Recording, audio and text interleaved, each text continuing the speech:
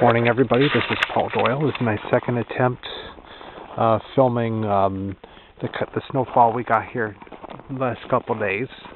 Um, as you can see, we got a fair amount. Uh, actually, it's about 31 inches.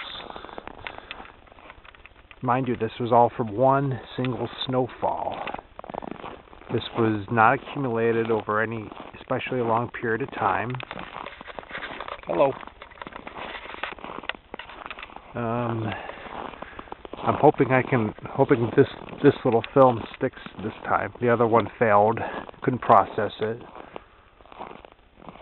But even with all the plowing, you can still see this was a hell of a lot of snow. Yes, it was. I'll go around and back in a second and get another little clip.